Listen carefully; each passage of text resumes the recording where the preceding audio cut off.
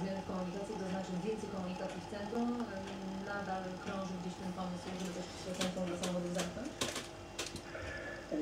To znaczy, to jest tak, że oczywiście y, takie projekty są realizowane, ale tutaj w dużej mierze mam na myśli to, że y, y, właściwie przy